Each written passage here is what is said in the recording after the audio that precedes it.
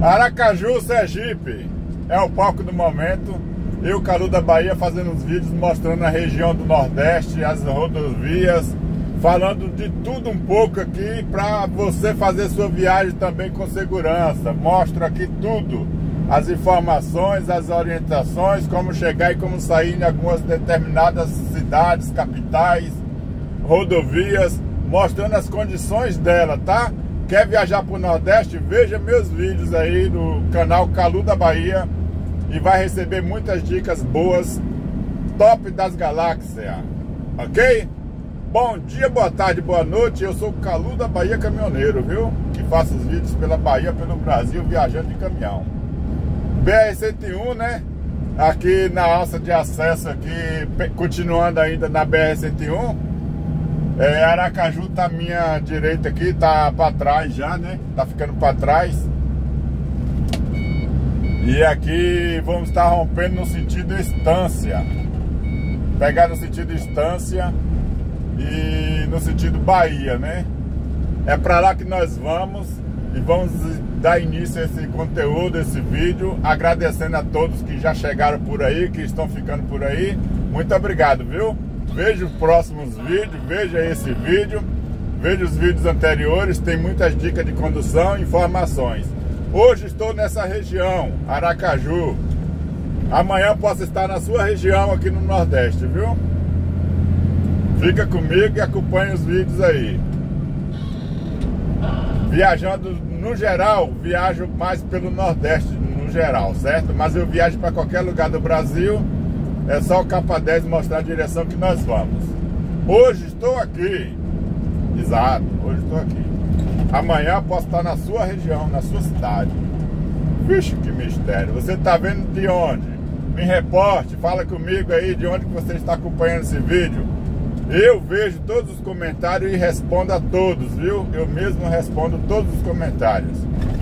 E se porventura quiser falar com o Calu da Bahia no PV, Lá na descrição desse vídeo aí tem, tem minhas redes sociais. Na descrição do vídeo, de todos os vídeos, tem as minhas redes sociais. É só, é só chamar no PV e será um prazer e satisfação bater um papo com você aí também, viu? Vixe, que mistério.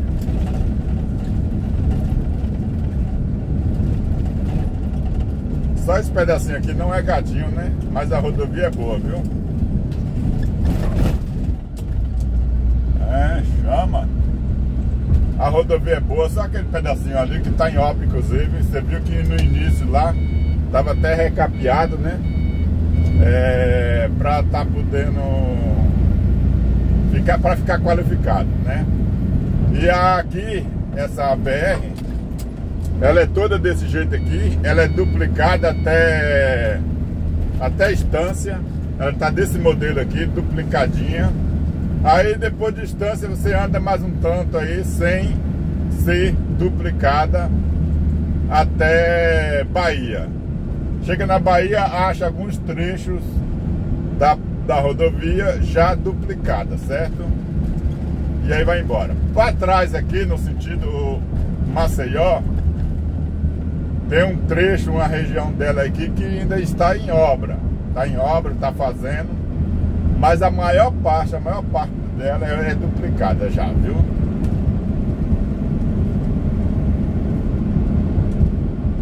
Show de bola! Top das galáxias. Vixe, que mistério. Graças a Deus, feliz igual pinto molhado no lixo, correndo sentado com o joelho dobrado, vidro fechado para não bagunçar penteado. Aracaju não aguentou, chorou, pirou, ficou no retrovisor, ficou na saudade, ficou na lembrança. E só na próxima viagem vai vendo.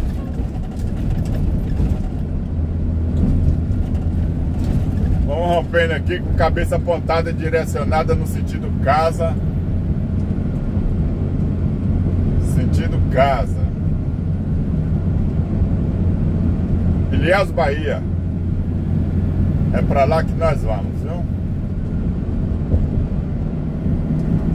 Vixe, que mistério.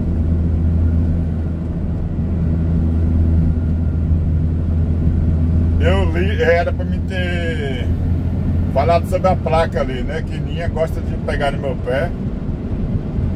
Mas tinha esse caminhão do meu lado, eu tava de olho nele para poder fazer a ultrapassagem. E esse veículo na minha frente.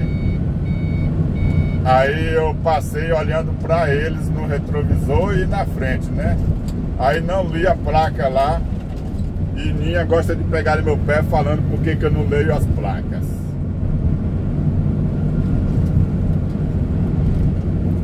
Mas eu leio sim.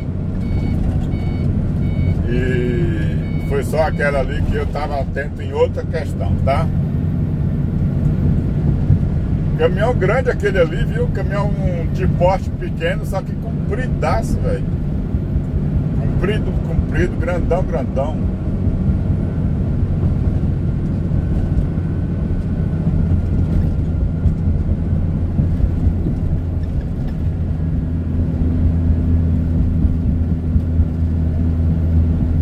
Onde pernoitei? Pernoitei aí na posada aí. Com com estacionamento grande, moço, grande estacionamento. Cabe uns 20 caminhão lá pra dentro. Aí eu parei, dormi lá de boa. Caminhão na área interna, cachorro solto de tudo, né? Trabalho caminhão pequeno aí tem essa vantagem. A gente dorme onde a gente dorme, dorme em hotel, pousada e os caminhões ficam guardados no estacionamento. E daí a parte ruim dessa história. a parte ruim dessa história aí é que eu saí cedo, né? Pra não tomar café, não, não peguei o café lá hoje não. Adiantando a viagem. Aí só que levantei cedo, cedo, cedo, moço. 5 horas da manhã levantei. E aí fui chamar o povo lá pra sair, pra liberar, abrir o portão, alguma coisa. Rapaz, pensa, só essa coisa aí que pegou pro meu lado, viu? Mas eu entendo e até aceito, né? A gente às vezes não entende o. Às vezes a pessoa fica sem entender qual que é os motivos, né? Isso aí com certeza é um livramento lá na frente né? Tá tudo certo, mas se fosse pela minha vontade eu teria saído mais cedo, mais cedo mesmo, viu? Só que eu fiquei preso lá dentro, chamando.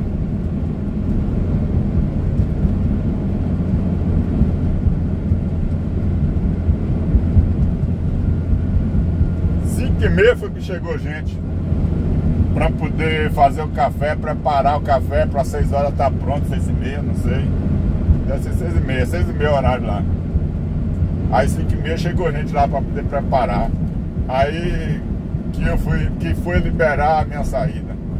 Demorou demais.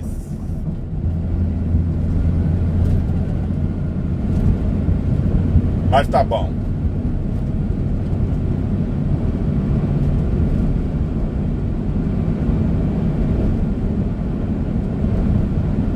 Eu estou em viagem a trabalho. Estou em viagem a trabalho, caminhão, viajando aí. Eu gosto de sair cedo. Eu gosto de sair cedo, sempre, sempre gostei de sair cedo. É... Nos primeiros horários ali, 5 da manhã, 4 e meia da manhã, 5 horas da manhã, já é o meu horário de levantar e sair. É, entendo que é um horário perigoso, porque a rodovia, esse horário aí, tem alguns motoristas que necessitam, que precisam de trabalhar à noite em viagem. E aí, esse horário de 5 da manhã aí, 6 horas, é o horário que mais o sono aperta para aqueles condutores. E aí, lamentável que muitos QRM acontecem, muitos tombamentos, vou falar assim. É melhor falar assim, né, Moraes? Muitos tombamentos acontecem nesses horários. Tá? Nesses horários cedo aí.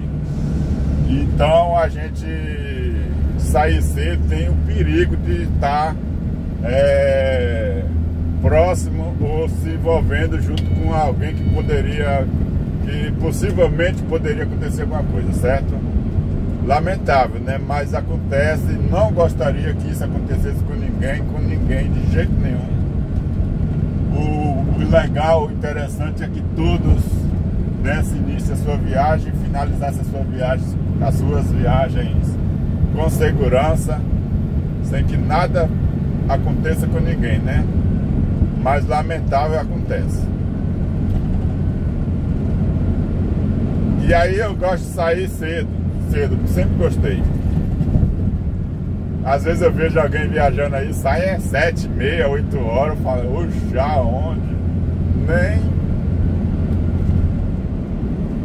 sai cedo.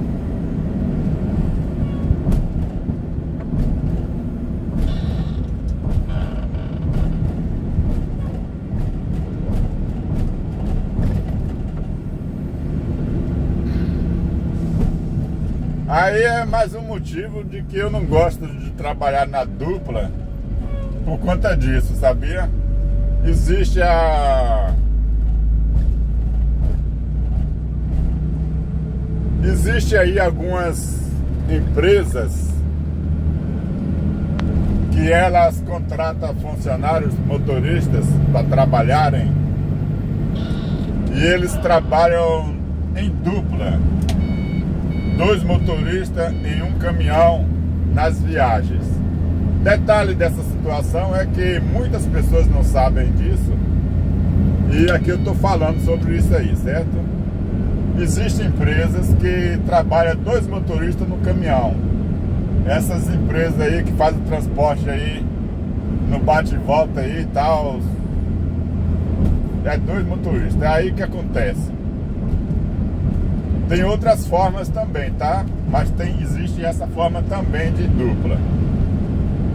E aí o que acontece? Essa a dupla, vai, o cara vai ali, o outro tá lá no, na cama, a parte de trás dormindo, tá descansando. Vai depois de 8 horas de serviço aí, de descanso aí, ou mais, alguma coisa assim, o cara, o outro cara pega, alguma coisa assim. É... E às vezes também Falando só dessa questão, falando só dessa, eu falo na outra já já. E aí essa questão para mim não dá certo. Para mim não dá certo. Eu não, não me adaptaria a essa questão, certo? Porque os meus horários de parada, as minhas formas de fazer a viagem vai ser diferente da do outro cara, entendeu? Às vezes eu tô empolgado para andar, o cara quer parar, o cara quer fazer uso do WC, outras coisas assim. Aí às vezes ele, ele quer, eu não, aí depois é a minha vez, eu vou querer, ele não. Então vai aumentar as quantidades de paradas e várias outras coisas. É lógico que tem a outra opção também de, de dupla da seguinte forma: o motorista trabalha daqui, vamos falar assim, daqui até Feira de Santana, Feira de Santana lá outro rende, pega de lá para outro local, né? Tem essa forma de trabalho também. Tem várias outras formas. Eu estou falando da que trabalha dois choferes num, num caminhão só. E também tem a questão de que é, eu vejo, tem outra questão junto. Aqui vai dois motoristas, três motoristas, quatro, cada um no veículo, certo? Vão junto em comboio. 3, 4, 5, até mais caminhões. Eu não gosto também dessa forma. Não gosto, não gosto, não gosto. Andar em comboio, isso faz com que um queira ser melhor que o outro, mais engraçadinho. Hum, engraçadinho, vai vendo. E aí vai querer acelerar, se amostrando tal. E aí o outro não vai querer aceitar, não vai aceitar. E vai querer empurrar o pé, acelerando com os dois pés. E aí no final das contas, dá erro. Prefiro andar só. Que eu faço meu controle de viagem, eu faço meu planejamento. Eu, eu, é eu mesmo, pronto. Não preciso de alguém fazer o planejamento e falar, ah, vou parar em tal lugar, vou parar em tal lugar. Não, eu faço meu planejamento, onde que eu vou parar, aonde que eu vou ficar e controla a minha velocidade. O comboio e dupla, essas coisas assim, não pega bem não, viu? Pega bem não. Pra mim, na minha visão, não pega bem pra mim não. Eu já andei, não exatamente um comboio assim, mas já andei junto com outras pessoas é, em outros caminhões, cada um em um caminhão no caso, né? Já tive oportunidades de andar assim e não foi gatinho. Na empresa que eu trabalhei recentemente, é, carregava pessoas, funcionários da mesma empresa, para trabalhar na região, na obra onde a gente levava ele, a máquina, alguma coisa assim. E a pessoa que iria comigo, às vezes, me dava dor de cabeça, tipo, é, eu sou proibido de carregar outras pessoas, viu? Só funcionário da empresa. Lembrando isso aí, falar, deixar bem claro. Aí, moço, eu levava o funcionário da empresa que iria trabalhar na máquina, operadores, essas coisas. Tinha deles que parava, queria que parasse a cada 40 quilômetros para poder ir no banheiro. Não andava nem uma hora, para aí, vou no banheiro. Não andava nem uma hora, para aí, vou no banheiro. Aí é tenso. Mais um motivo de que eu, por que eu gosto de andar só. Você tá entendendo? Eu tô devagar por aqui nessa faixa aqui, mas que ali tem. Dá uns pula-pula nessa. em algumas vezes aí alguns locais dessa faixa aqui, ó. Dá um pula-pula, arruma a carga, né? E aí, moço, são vários tipos de, de opções de, de aborrecimento quando a gente está com mais de com mais pessoas próximas viajando na mesma juntos, né? Que nem eu falei, vários caminhões juntos no mesmo sentido pela empresa. Vamos junto, vamos. Vamos junto, vamos. Vai vendo. Aí que acontece. Eu paro para almoçar, a gente para, a gente para para almoçar. Quando a gente vai almoçar, aí eu já tô ali é, acabando de almoçar, faço prato, minha almoço ali de boa e tudo. Aí já tô preparado para sair. É que alguém vai chegando ainda para poder fazer o prato para almoçar naquela pisando na manha, sossegado todo. Aí eu não aguento. Aí eu não aguento. Não é que eu ande de correria, mas essa moleza para mim já é barril dobrado. Eu lembro que tem, tem, tem amigos aí que fazia bem isso, mas eu, eu parava o caminhão, no que eu descia do caminhão, ia lá, fazia o prato, almoçava e tudo, o cara tava descendo o caminhão ainda. aí são essas coisinhas que faz com que me dê a opção, a me dê a, a escolha de, de não querer, de não querer. Não querer fazer junto com com outras pessoas. Pode fazer sozinho a viagem, ficar de boa.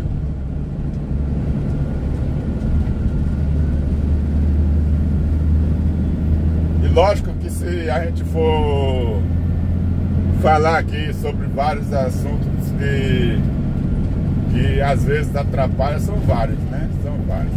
Com certeza que eu também incomodo algumas pessoas com algumas questões minhas né? Que eu não sou perfeito, não sou correto. Então algumas pessoas também ficariam chateadas comigo por conta de algumas cobranças, algumas formas de trabalho. Então, por isso é melhor que ande só. Eu prefiro trabalhar assim.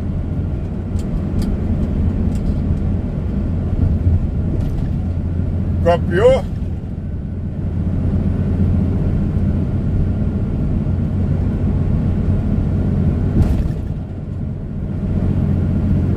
Pelo seguinte, inclusive até um capa 10 aí me falou, falou comigo que eu sou um motorzinho, que eu quero trabalhar, trabalhar, trabalhar, eu não, não, não, não paro, que não sei o que, não faço nada. Eu, eu tava trabalhando numa empresa aí, logo quando eu cheguei em Ilhéus, Bahia, fui trabalhar numa empresa Aí carreguei o caminhão em Ilhéus e fui para São Paulo. Fui lá para São Roque, São Paulo. Aí cheguei lá, bati, fui lá, subi. Aí descarreguei, carreguei voltando e voltei. Cheguei no local de entrega, descarreguei e fui pra garagem. Carrega, vamos subir de novo. Aí carregou pra Santana de Parnaíba. E aí, nessa viagem, o caminhão apresentou uma falha de, de freio. O caminhão faltou freio comigo. O caminhão tinha alguns defeitos, alguns problemas. O caminhão já usado, bem rodado já. Faltava dono, no caso, né? Manutenções. E dali eu caminhão faltou freio comigo porque é, o ar baixava muito se a gente tivesse pisando no freio, brecando muito no freio, e aí ele faltava ar e baixava o ar, né? Faltava freio. Resultado, tinha que fazer manutenção. Aí eu parei no posto de Angeles, de Angeles lá em, em Montes Claros parei lá e aí fiz um orçamento para poder ajeitar aquela situação. O caminhão estava com defeito na na cuica, na, na cuiquinha, cuicão tá com defeito, é, diafragma, é, o compressor estava regulado no máximo, não poderia estar regulado no máximo. É, vazamento nas bexigas da cabine, é, vazamento nas quatro vias, tá com vazamento de ar nas quatro vias, entendeu? E eu sei que o caminhão tava com uma série de coisas. O compressor já era, o compressor tinha que arrumar mesmo, trocar, sei lá, fazer qualquer coisa. E aí eu fiz o orçamento todo lá e aí eu vim embora, né? Tinha que vir embora. Só que, detalhe, eu tinha que vir no freio motor, pisar no freio só uma vezinha só ou outra, né? Não ficar abusando do pedal de freio, aquela coisa. E ele parava no freio. Se eu pisasse uma vez só, ele parava. Só que se eu ficasse pisando direto, aí ele faltava, né? Aí dava pra viajar, vim embora. Cheguei no Ilhéus, apresentei, descarreguei o caminhão, apresentei o serviço pra ele, falei aqui, ó. Fui descarregar em Feira de Santana. Descarreguei em Feira de Santana e voltei para Ilhéus vazio. Aí, cheguei em Ilhéus, mostrei para ele, ó, aqui o caminhão tá precisando fazer esse serviço, fazer esse serviço aqui, fazer esse, fazer esse. R$ 3.900 o serviço naquela época. Aí ele falou, meu Deus do céu, moço, isso aqui é muito caro, que é isso? Vai não, dá não, vamos fazer aos poucos aqui. Ó, é o seguinte, é, você sobe essa viagem aí, carrega aí, vai lá para São Paulo de novo. Aí você faz esse item aqui do serviço, o dono falando, dono da empresa. Você faz esse item aqui e tal.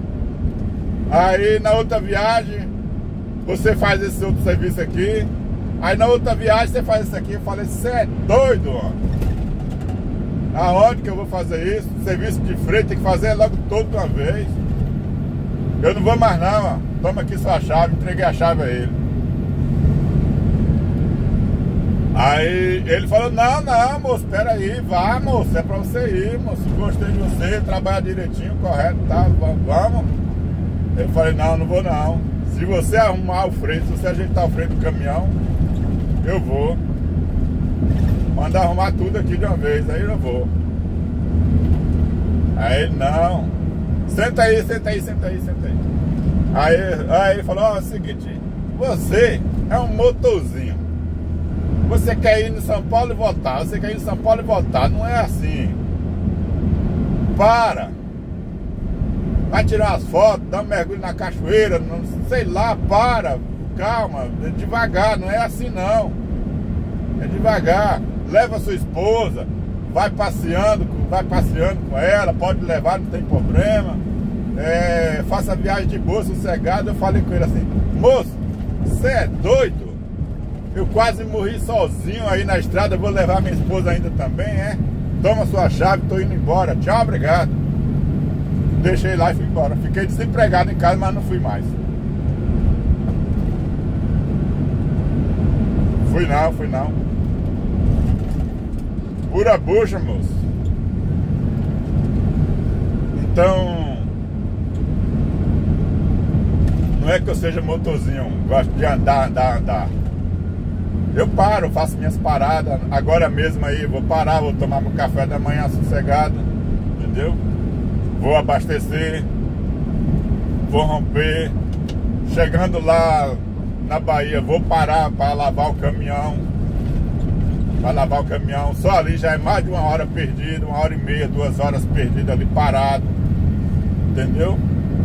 É, eu paro, sim. Eu não sou esse motorzinho